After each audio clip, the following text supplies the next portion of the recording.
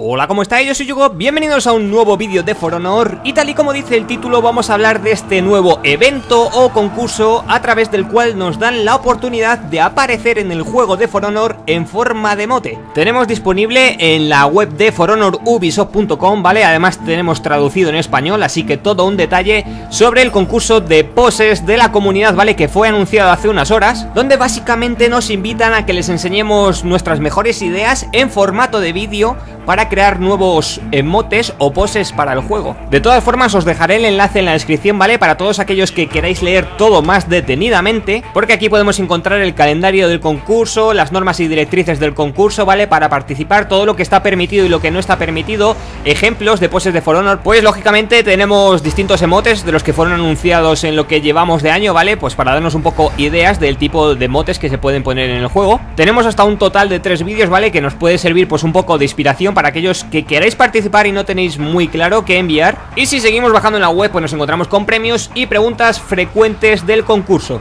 Mientras estamos viendo de fondo una de las imágenes que pusieron Ubisoft a través de su cuenta de For Honor en Twitter, ¿vale? Donde, bueno, pues sale un poco modo cómico, ¿no? Ejemplos de motes que se podrían hacer para el juego.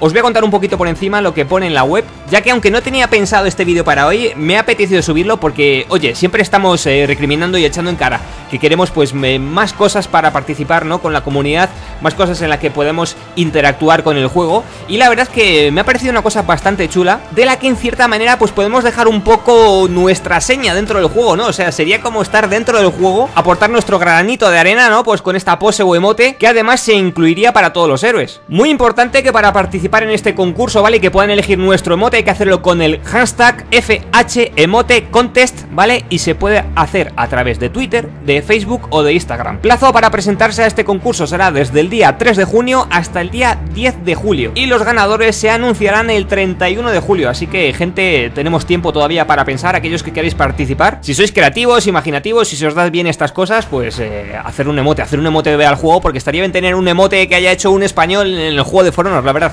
Yo lo compraría, me comprometo a que si alguno de vosotros gana el concurso, ¿vale? O es de los seleccionados, me voy a comprar ese maldito emote Tenemos varias normas, que solo se puede participar en línea, que hay que utilizar el hashtag que ya he dicho anteriormente Que hay que hacer un breve vídeo mostrando el gesto, ¿vale? El vídeo debe de durar entre 10 o 15 segundos La pose no puede ser específica para un héroe porque se va a implementar para todos los personajes, ¿vale? Será una pose de libre distribución También nos animan a que adjuntemos una breve descripción de la pose, ¿vale? Aparte de hacerla en el vídeo, pues explicando un poquito lo que está sucediendo Las participaciones no pueden pertenecer a varias personas así que con esto yo creo que queda descartado los emotes en grupo, ¿no? No está permitido el uso de armas en la creación de este vídeo y Ubisoft no se hace responsable de las lesiones sufridas durante la realización de este vídeo, así que, ojo gente, si tenéis mandobles o katanas, no las utilicéis en el vídeo porque si os lesionáis o os tajáis un brazo o una pierna, Ubisoft no se hace responsable. Madre mía, esto, punto, no sé, si han decidido ponerlo es que debe ser necesario. Es obligatorio que las participaciones hayan sido creadas por nosotros, hayan sido originales y exclusivas para este concurso, que estén inspiradas en For Honor, no podemos recrear ni hacer contenido que ya esté disponible en For Honor o hacer una extensión del mismo, ¿vale? Tiene que ser del todo nuevo y no pueden contener ataques personales hacia ninguna persona, producto reconocible o productos de la competencia. Lógicamente, no se pueden hacer ese tipo de guiños destructivos. Además, tienen que ser adecuadas para un público amplio, lo que es lo mismo para todos los públicos. Y nos dejan un enlace para consultar todas las normas y directrices completas del concurso. Premios, ¿cuáles son los premios que muchos de vosotros estaréis esperando y con quién me van a premiar? Pues la oportunidad de convertir vuestras obras en una pose dentro del juego. A ver, lógicamente no va a haber un premio metálico ni te van a dar una figura de Apollon. Yo creo que bastante premio es, ¿no? Que el vídeo que tú hayas mandado,